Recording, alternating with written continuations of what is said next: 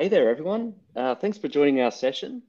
Today we're going to be talking about pre-sail checks. Do you need a checklist before sailing to production with Istio? First off, just a quick round of introductions. My name is Simon Green and I'm a field engineer here at Solo. I'm based at in Boston, Massachusetts, and I'm very proud to say this is actually my first IstioCon. And actually, I, I haven't been part of the Istio community for that long. I've um, in my prior life, I've, I've contributed to Apache Camel and uh, ActiveMQ and Kafka, and I've got roughly uh, 25 years or so experience in, working in the app dev world. And uh, over to you, Ram. Hey everyone, my name is Ram Vennam. Um, I'm also at Solo. I lead one of the one of the field engineering teams called Special Operations.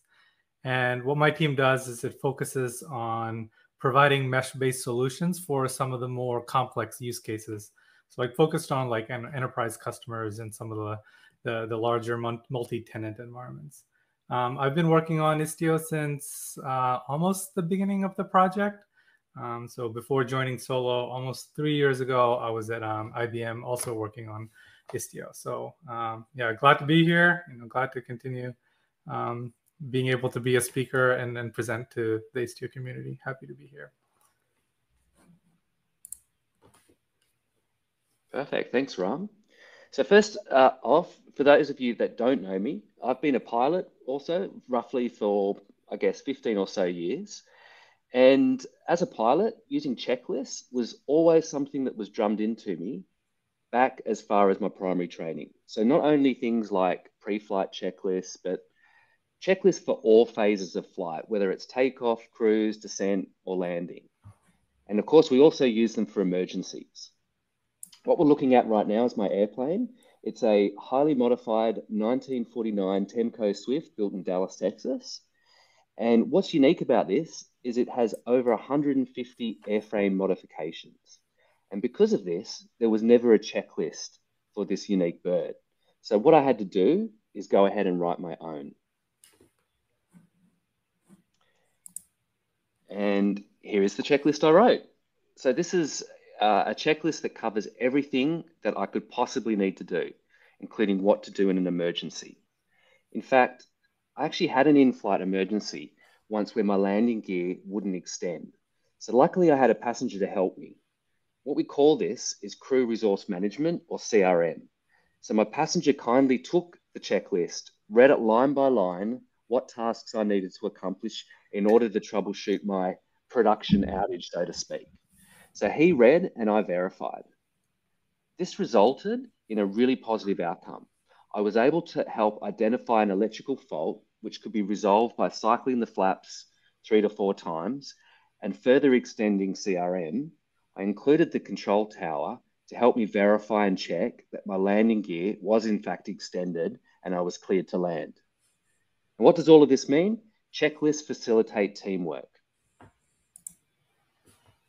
So the question is, why am I telling you all of this? Remember, whether it's for something like piloting an airplane or a surgeon in the operating theatre who doesn't want to forget a scalpel in, in their patient, or a platform SRE responsible for business critical workloads. We need a clearly defined checklist. A checklist is intended for the pilot, though, not for the mechanic. We're focused on checking the oil, not changing it. In other words, we worry about solving the issue later in a, in a more controlled manner. Use the checklist to help identify shortcomings or gaps, either during production readiness or an outage. Taking what I've learned as an aviator Ram and I have embarked on drafting an Istio readiness checklist, which you can see over here on the right hand side. This checklist is intended for the platform ops team, those who are focused on day two ops, not day zero. The intention is not to go into the internals of how Istio works, but more about identifying gaps or outliers. So what we're going to do in today's session is help you build your own checklist just like I did for my highly modified airplane. Ram and I have put together a bunch of different customer case studies where we, where we were able to observe the problem, check and validate what was wrong, and help the customer with a positive outcome. And with that, our first example is the orphan sidecar problem. So for this particular case, we had a customer come to us with a problem that some of their services were not behaving well. They were seeing random intermittent errors, and this just started happening out of the blue. So as field engineers, Ram and I asked them what had changed in the system leading up to this particular event. They mentioned that they'd recently upgraded Istio, but didn't think it was part of the issue because things were working fine after the upgrade. We helped narrow down the problem to just a few microservices and observed in the sidecar logs that there were endpoint and certificate related errors. Yep. So from the customer's perspective, like this was difficult to to troubleshoot, and mostly because of the intermittent and the random nature of when it started occurring.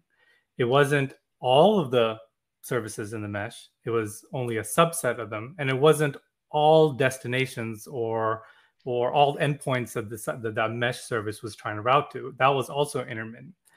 Um, so because of that, you know, we started going down. You know, first thing we checked, you know, make sure Istio D is okay, and Istio didn't Istio D didn't have any errors. The sidecar logs showed access logs. We turned on access log, looked at the access log, and like some, most of them were working, and then we're seeing errors in some of them, but not all of them. And there was like uh, a few warning messages, right? But it wasn't enough for a customer to like quickly debug themselves.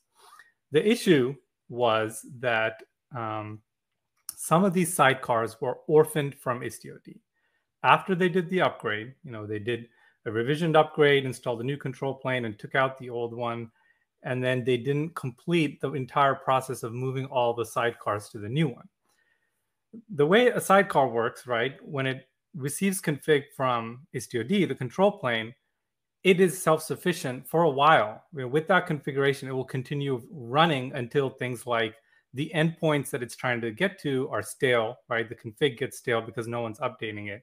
And then any certificates that it no longer receives from Istio-D.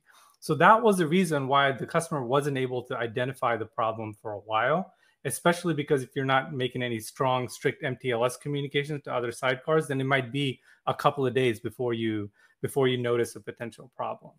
Um, you know, the solution for all this uh, in your checklist, you know, obviously make sure that you run all of the stuff that Istio tells you to do before and after an upgrade to make sure all the sidecars are moved over. But to also prevent other orphan sidecar problems, there are metrics exposed on the sidecar side. Um, Envoy cluster manager, cluster updated metric, for example, or um, there's a CDS update time and an LDS update time metric that each sidecar emits so set up an alert on make sure that you know if that's going past a certain number of hours without any upgrade, you probably haven't have an outage that's that's um that's about to hit your way.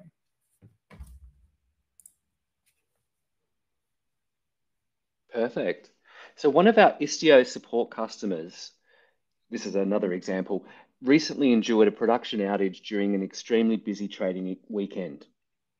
So after further investigation, they determined that all of their virtual services were missing. This is really strange though, because the developers don't have access to delete all the virtual services across namespaces. They should have proper boundaries in place around their namespaces to prevent this. So, how did this happen?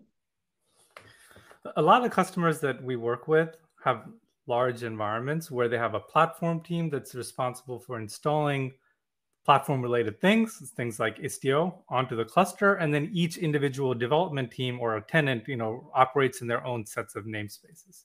So when they installed Istio, things like the Istio control plane and maybe the Istio gateways, um, they protected all of those and all of those namespaces from their tenants from being able to modify. That's that's kind of obvious. And then they used RBAC to make sure that every uh, namespace and every developer that namespace can create the appropriate resources that they deem that they should be allowed to create. What they fail to protect are the cluster scope ones, things like the Istio CRDs, not the CRs, but the CRD itself. So what happens if you delete a CRD, like the Istio Virtual Service CRD? All of the CRs get get deleted. So, you know, this is another checklist item to make sure that you have, you know, proper if you're using a multi-tenant environment, you, are using the proper Kubernetes RBAC controls to make sure that uh, you're not only protecting the stuff that's inside the namespace and, and namespace scoped objects, etc., but you're also protecting things like um, things like the CRD. So just make sure you you you lock down access as much as possible. A lot of times, what we've seen is that this is not malicious; it is purely um, accidental. One of the tenants they were couldn't get something working, so instead of accidentally deleting a, uh, a CR or CRD, um, you know they delete you know one or the other without actually un- entirely understanding what's happening right? Because they'll they'll try anything to try to get something working especially in a high stress environment. So make sure that you have proper checks in place to prevent that from happening. Thanks ram. So the next example is traffic hijacking so for our next case study we worked with a platform team that in production expected traffic routing to a completely different upstream service. There was no recent new configuration change in the cluster, but the routing behavior had changed. We simplified the problem down. The platform team had a shared gateway resource in the Istio Gateways namespace to be shared across the cluster. One of the team leads, we'll call her Iris, has a virtual service that routes traffic based on prefix slash app to her Hello World service. Sometime in the past, Tim from another team had decided to create a virtual service in Team B namespace, which included a route, which was slash app login, routing traffic to his service. This didn't impact anything with the original application, and they went to production. But somewhat randomly, the routing in production changed. So by default, in Istio, um, the configuration is exported to all namespaces. It's not scoped. So whatever virtual service you create in one namespace is exported to the other ones unless you explicitly scope it down. Um, and and in a multi-tenant environment, we've often seen this where for a single host, there's multiple virtual services across different namespaces that, that people will use to, you know, do, to do their multi-tenancy. Istio does its best to merge all of these, these routing roles, these uh, virtual services together. But you know, for the sake of running into production, that ordering is essentially undefined, right? So when there's a conflict between two routes, it essentially just picks the first one, you know, based on a timestamp. Like whichever uh, was created first gets higher up in the order, right? Same thing for catch-all rules. Like whatever is created, Istio picks up first is the one that's there. So that's why you can get into really bad un- intermittent behavior in this example, where you know, team A was running fine. Team B comes along, applies bad config. They don't realize that it's bad because it's not like accepted by by Istio. Sometime in the future, maybe in production, the original team A uninstalls and reinstalls their app. So now the timestamp has changed, and that bad config or that dormant bad config is now active, right? So that's a place where we've often seen get users get tripped up in the middle of production where Istio routing has just changed and they haven't essentially changed any configuration. They just changed the order of when particular resources get applied or when they scale to another cluster when th- when the when timing is different. Um, the solutions for this, you know, ideally avoid using multiple virtual services for a single host, but that's not always possible, you know, depending on how you have your environment architected. The second way is scope down all of your resources. Your your gateway can scope down exactly what namespaces it's going to pick up its virtual services from. So in the host field, you can specify which namespaces that it's going to pick up that it should be watched to bind to that gateway. Um, same thing for your virtual services. Make sure you have your export to fields set in all of your virtual services so that um, you're exporting things to the right gateway's namespace and not the, you know, not your devs test staging, for example, by accident. And then Istio Analyze might catch some of these things, but you know we, we've seen a lot of cases where it doesn't, uh, just because of the way the complexity for of rules ordering. And then the last piece of advice is uh, run Istio proxy config routes on your gateway, and it shows you all the various routes that are bound to that gateway.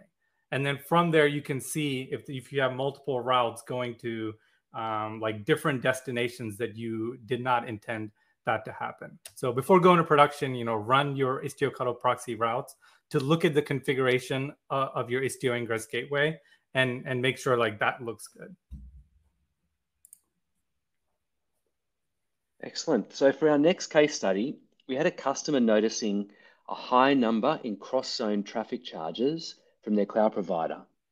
After digging a little deeper, we noticed a lot of traffic between sidecars in one zone connecting to Istio-D running in another region zone with a lot, a lot of chatter.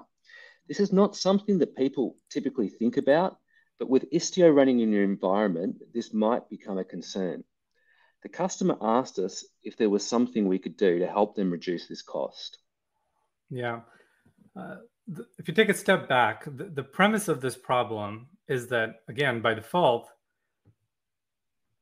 every sidecar, every mesh service um, needs to know about every other mesh service. So if anything changes in your mesh, Istio-D has to take that updated information and blast it to every other sidecar. And and that can be scoped down but a lot of users don't scope it down. Um, this is what we've seen is that it's it's it's it's wide open. So istio-d is doing a lot to kind of orchestrate everything. And this becomes costly.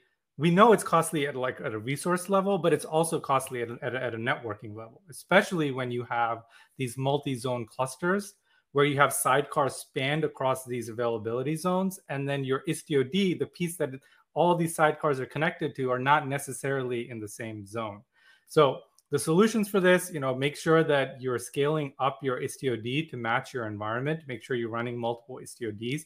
You have the proper um, affinity set so that they're scattered across your nodes and across your zones. You can take advantage of uh, topology topology aware routing feature in Kubernetes to make sure that when sidecars connect to Istio-D, they're connecting to their closest available Istio-D so that you reduce that cross zone um, uh, and that, that cross zone um, routing and chatter.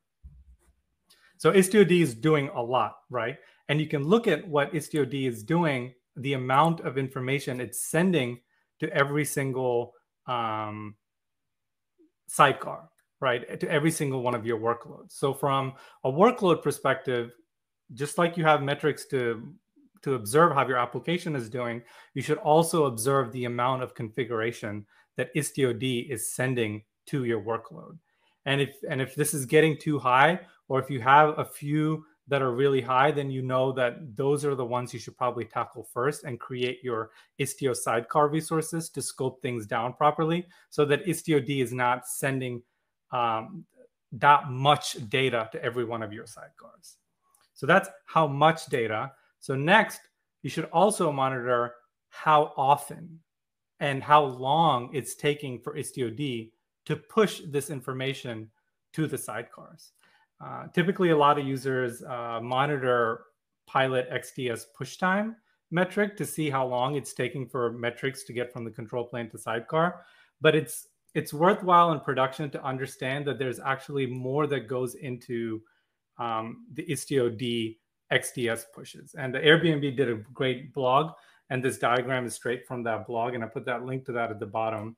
But you know, essentially, whenever there's any change in the environment, know that it gets that that change gets created. Um, a push request gets created, and that push request stays in um, a, a, a debounce time period for a little while to make sure it gets all of the right information and we're waiting for all the merges. And then once that period is passed, then Istio-D will pick up that push request. It gets added to the push queue, and then XDS is calculated, and then it's being sent. So there's multiple steps in this process.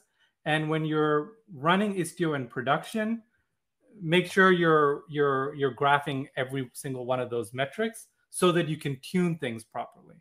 All of those various periods and the number of um, concurrent pushes, etc., they're all configurable with an environment variable.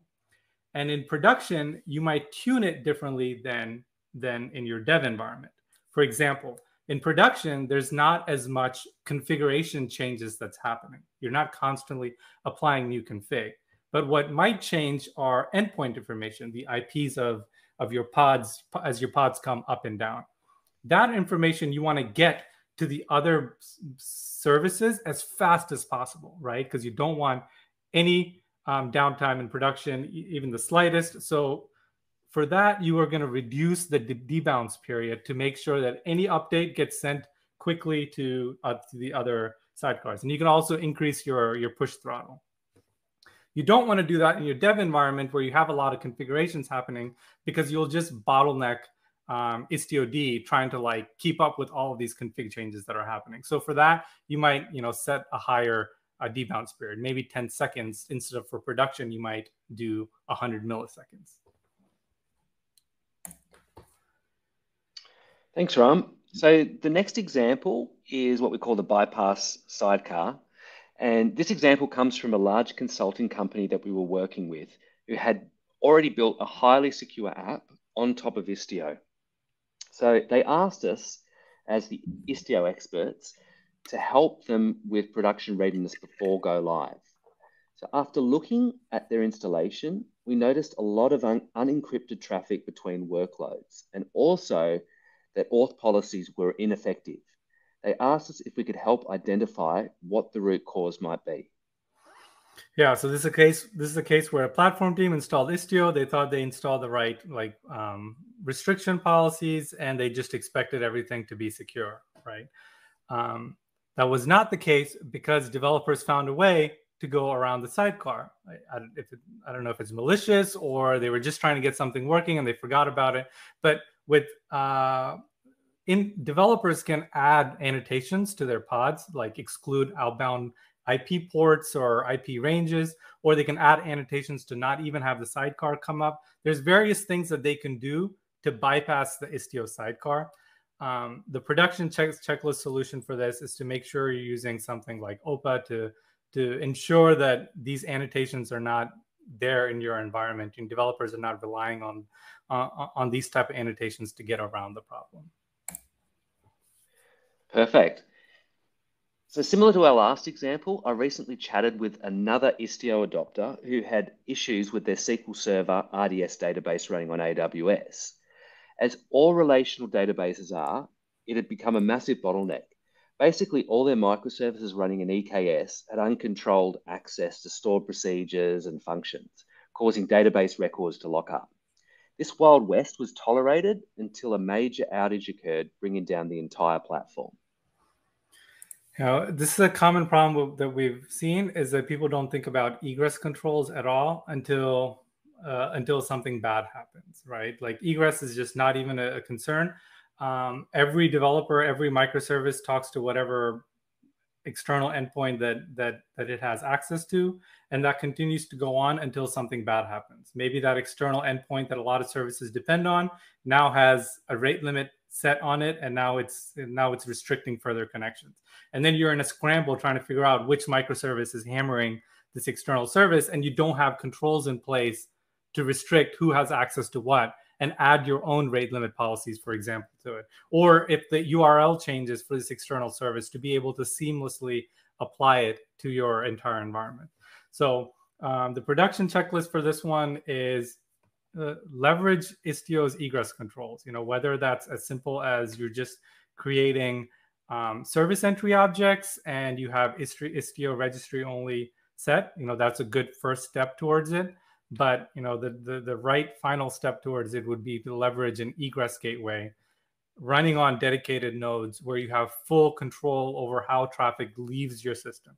The same way you have an ingress gateway where you can um, control, secure, observe traffic coming in, you need the same things for your external um, egress as well. Don't wait until it's uh, it's too late for you to apply those policies. Okay, and here we have another important concept, which in fact is nothing new. It, it dates back to the Middle Ages, and we call it defense in depth. So if we look at the castle and moat system, the way that works is we defend against any particular attack using several independent methods. In other words, we have layering tactics. In the castle's case, the moat is the first line of defense, preventing attack attackers from getting too close. Then we have the overhanging holes, platforms, etc., built into the castle so those inside could hurl items at the attacker below. The question is, how can we apply the same concepts to networking? And can Istio help? Yeah, I mean, everything we've been talking about kind of builds up to this. Um, essentially, you want a layered approach, right? I mean, Istio provides a lot of security for your applications, but as you've seen, these there's there are ways to get around it. Um, there are there there are times when bad configuration causes a hole through Istio, and when that does happen, make sure you have another line of defense, and you can do that by leveraging Kubernetes network policies, um, just you know around your nodes or around your namespaces, just to have it as as a backup, as a layer three, layer four um, backup, and then also leverage egress gateways to make sure that traffic is being funneled through the right right nodes, and you have controls in place to make sure that if you wanted to check cut things off, you can do that. Running short on time, so going. No worries. Yeah. So this is the last one. We've helped we've helped many Istio customers with intermittent problems they hit during pod startup. Looking at the application container logs, we saw that it was related to not being able to talk to the network. If the application relies on the network to start properly and it doesn't have retries resiliency built in, then it results in the pod failing to start and crash loop back off. Mm-hmm. This, this is a container race condition whereby the Istio sidecar fails to start in time to serve network requests from the app.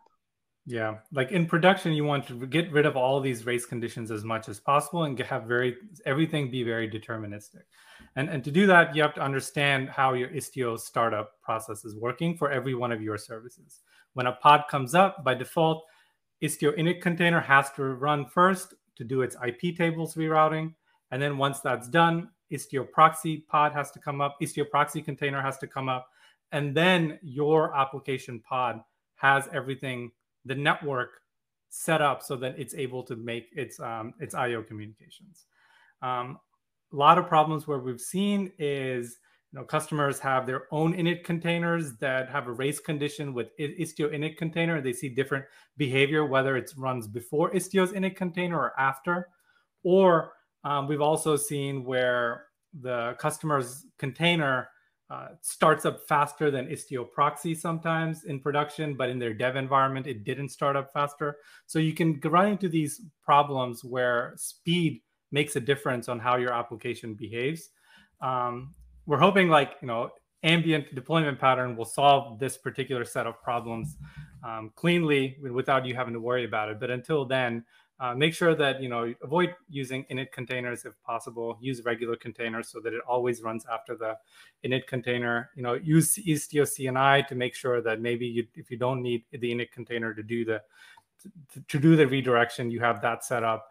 And then um, le- leverage uh, flags like hold application until Istio proxy starts. There's an environment variable um, that gives you control over exactly when your pod comes up uh, in relation to the Istio proxy pod. Cool. So um, I know we covered, you know, a few different set of use cases, but they were meant to be so that you can build your own production checklist to cover those types of issues. Everything that solo field engineers and our customer success engineers uh, have hit with our customers over the last like three to four years of us do helping customers with Istio, we've we've collected all that feedback and um, we built analyzers like automatic analyzers to check for these best practices. These are not just like static config analyzers, but also best practice deployment level analyzers. And we built it into our Gloo Core um, product, which is essentially just sits on top of your existing Istio and gives you this insights into your environment. It does um, like lifecycle management and helps the operations team make sure that they're running Istio smoothly, upgrade Istio smoothly, make sure they have the right checks in place, etc. And that management plane will also provide insights and dashboards, et cetera. So that was the result of all of our work is that we put into um, building this, uh, this analyzer solution. Um, anyway, if you have any questions, you know, please, you know, reach out to, to, to Simon and I. Um, you can find us on the, uh, on the Istio, on the Istio Slack, or um, you can reach us at the Gloo um, Solo.io Slack channel. Uh, my email address is uh, ram at solo.io. And Simon, what's your email address? It's uh, simon.green at solo.io.